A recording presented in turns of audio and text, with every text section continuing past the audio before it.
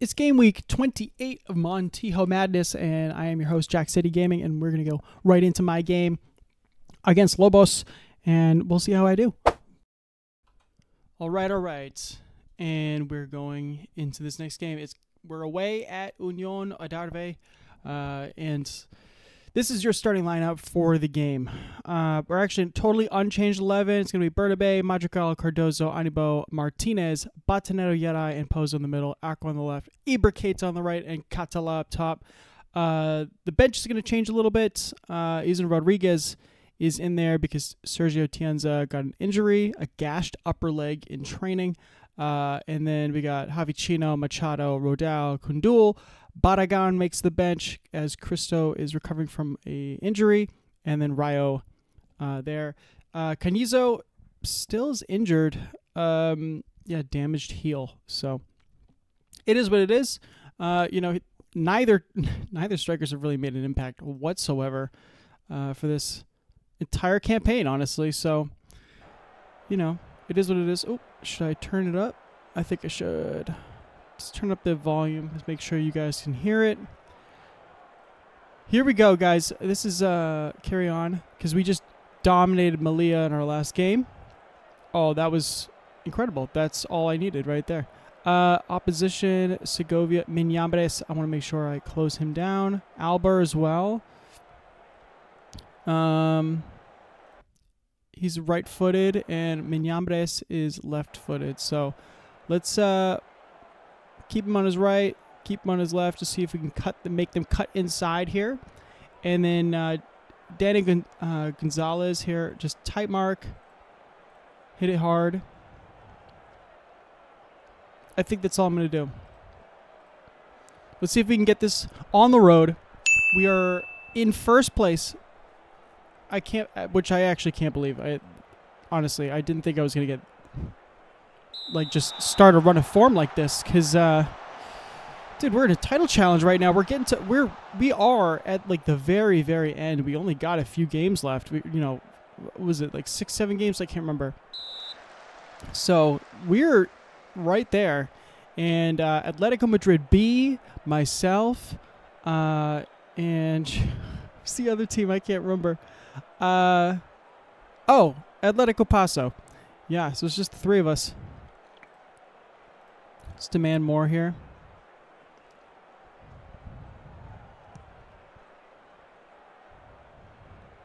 All right, well, if they want to just give up the ball like that, I'm totally fine with it. Cardozo launches it forward, and Alvaro Lopez wins it. Oh, there we go. Catala wins it back, stabs it away. Aqua loses it to Danny Cuevas. Yeah. Segovia wins the header, but doesn't matter. Anibo is there. Who, by the way, I have to say, he might be, uh, like, Catala obviously is one, probably the, the best performer. Uh, but um, Marvin Anibo, I have to be honest, one of the stars that has come out of this, him and Cardozo, one of the stars out of this team that's, that's been able to produce. Yet I, I hate when you hit it like that. I really do if you would if you would score them some sometimes I'd be like, all right, take a shot, but you haven't. That was not a highlight. Football manager, I want to let you know that that was not a highlight. That was a highlight. That was decent. Just over the top of the bar there. We've been able to shut them down so far. I'm not going to work the ball in the box. Thank you. However, uh, slow going so far. 11 fouls. That's crazy. And they got no yellows either. Uh, okay, so I'm kind of yeah, just keep going, I guess. I nothing really happened. Let's just keep going. See what happens.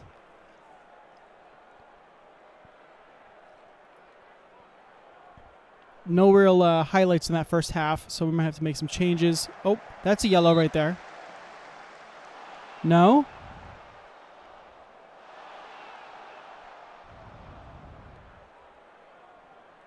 Game's going to FM me, I swear to God. Madrigal gets it. Yeah.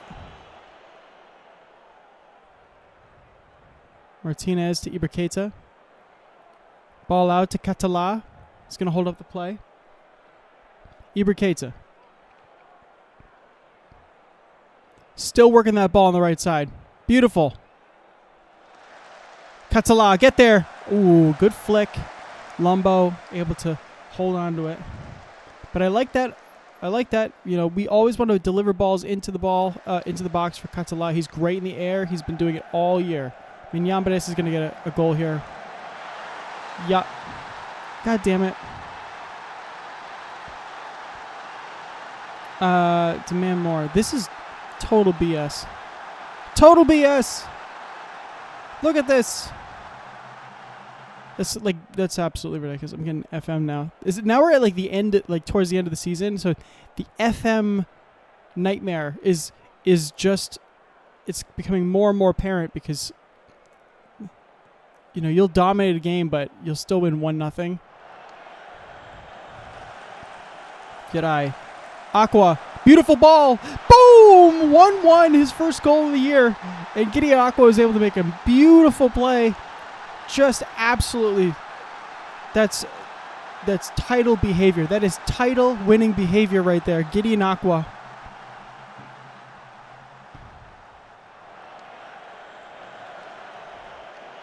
Look at that. T- one touch, two touch around Danny Cuevas. Hits it in the roof of the net. Goalkeeper rooted to the spot.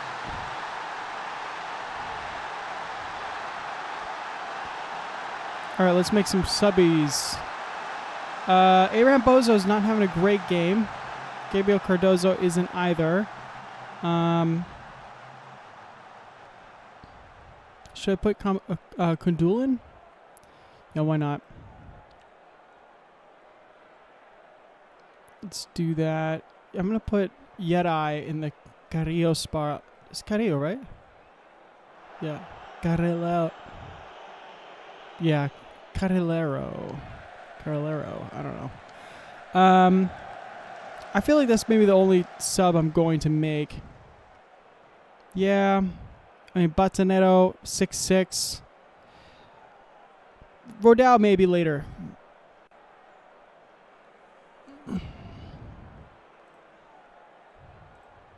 Encourage. Come on.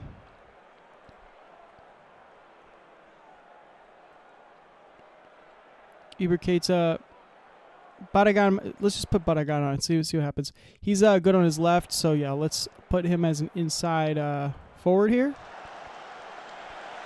We need wins. We need wins. Martinez, ah, come on.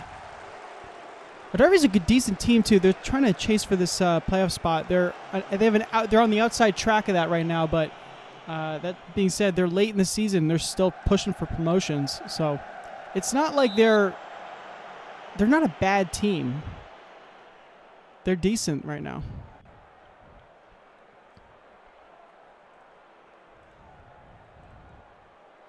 Let's encourage the team again.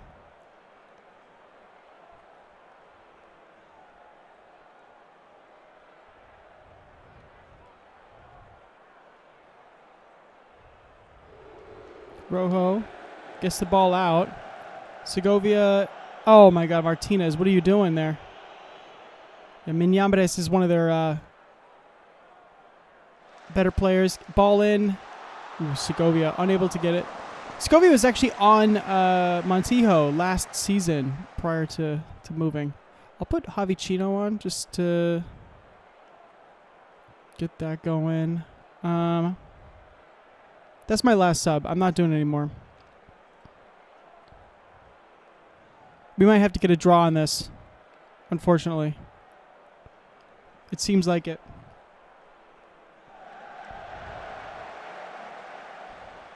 Unless they get a... Uh-oh, this is scary. This is scary.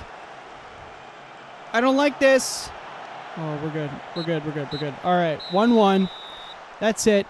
Uh, let's go on to the next, uh, the highlights for what happened in this week. But Unfortunate, we only got a draw uh, against Lobos. Sequemos Malia are trying to create distance from the drop zone coming into this game week. And Sequeira score from a speculative shot where the goalkeeper probably should have gotten it. Uh, Salcedo will definitely be kicking himself uh, when he returns home later this evening. But Melilla were able to at least level it uh, at 22 minutes, and they share the spoils after an evenly fought match.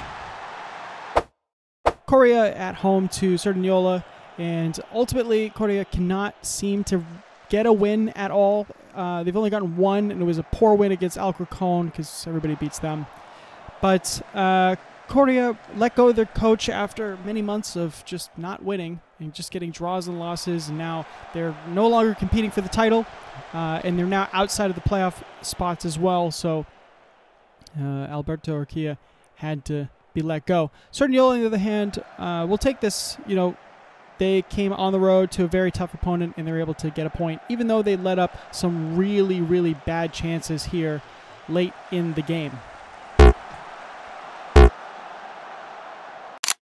The hosts, Guadalajara, are fighting desperately against relegation, uh, while the visiting team is chasing the title. Javi Cueto was helping them out there with a goal just on the other side of the halftime. And Atletico Madrid B were fighting a tight affair all game until in the 92nd minute. Diego Bri with a beautiful run and a tidy finish were able to seal the points. Leganés B able to pull off a huge upset against Don Benito with a 1-0 through Romerick. He did miss a penalty later in the game, but that won't matter. Don Benito dropped three points in their race. But that wasn't the biggest shock of all. The biggest shock is Segoviana winning against Atletico Paso 1-0 here with Acuna scoring the 75th. Huge implications for both teams. Cacereño hosted Diocesano and continue their undefeated run. It is now at 13 games, and we're in March, and they have won now every single game in March. So they are have a absolutely rapid pace. They're blitzing up the table right now and really gunning for that uh, playoff spot. Ivan Fernandez and El County were able to make it 2 0 at 10 minutes, locked the whole game down. But Buhan, a recent signing by Diocesano, who's on loan there, was able to make it a goal, uh, score one back in the 82nd. But it wouldn't matter. Ivan Fernandez missed a penalty two minutes later, and again, two win victory. And Villavenovense run Alcorcon B team out of town as they beat the crap out of them 3 1. Uh, this was not really a contest, if I'm honest. Higuerocha was able to get his second, third, and fourth goal of the season. First hat trick of the campaign, obviously. And uh, yeah, all able to do it all before halftime. And the game was pretty much over by halftime. So Villavenovense was able to stop the bleeding. Uh, you know, they're on a three-game winless run, and you know now they're able to defeat the one of the worst teams in the league. And Alcorcon now have 11 games without a win and seven losses in a row. Garcia getting a consolation goal by stabbing it and rounding the keeper in the 91st. In the last game of the week, it is Navalcarnero at home to Estepona, and both teams looking for a win. Navalcarnero looking for that safety uh, right before the relegation drop, and Estepona needs to keep their pressure on the title at bare minimum the playoff spot.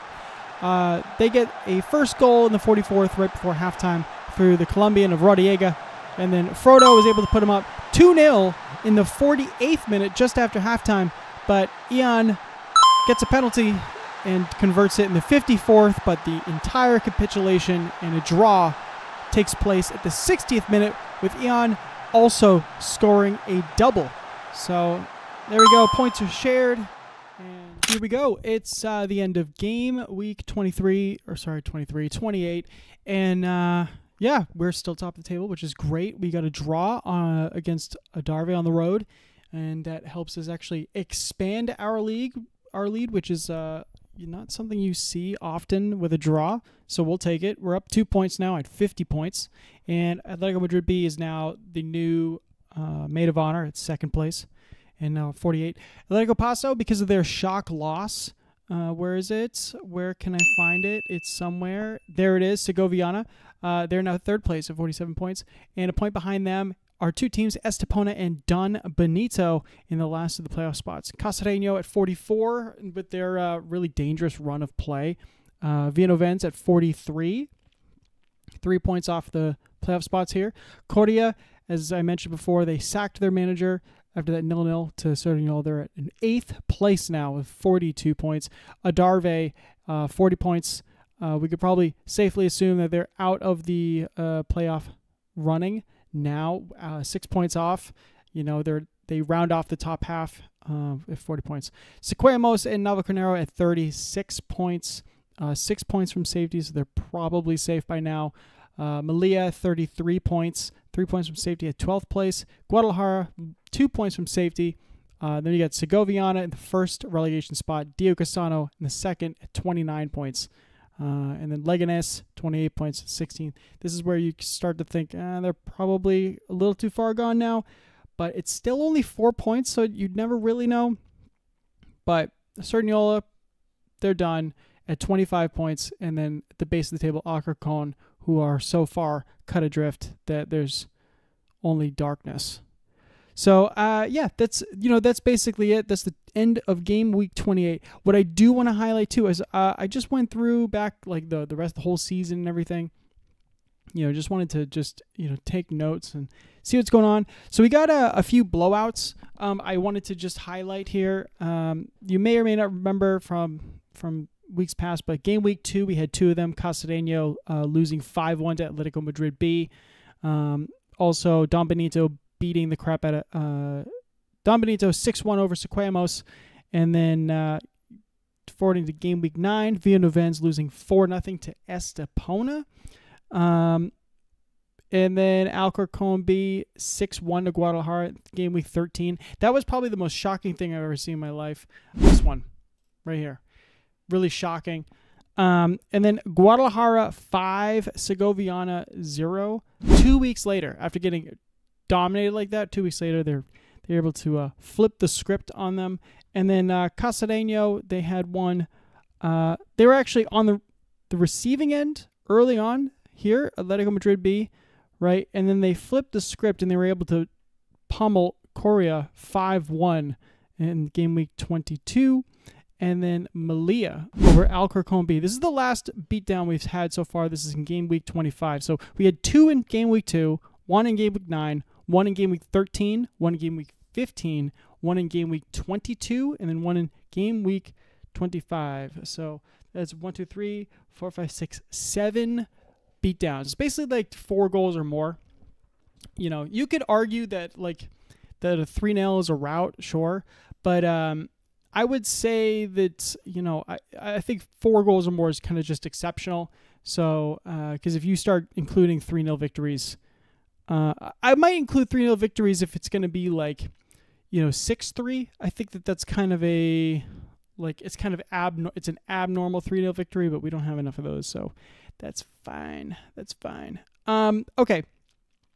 Another thing I wanted to, I wanted to start just kind of tracking here for this game, this, this season is the number of hat tricks that we uh, experience here. Uh, is actually kind of astounding. Um, let me go back. So first first hat trick we had we actually had two hat tricks in game week two. It was actually in the the blowouts uh, that I mentioned earlier. Here six one this blowout. Uh, Revy was the first hat trick.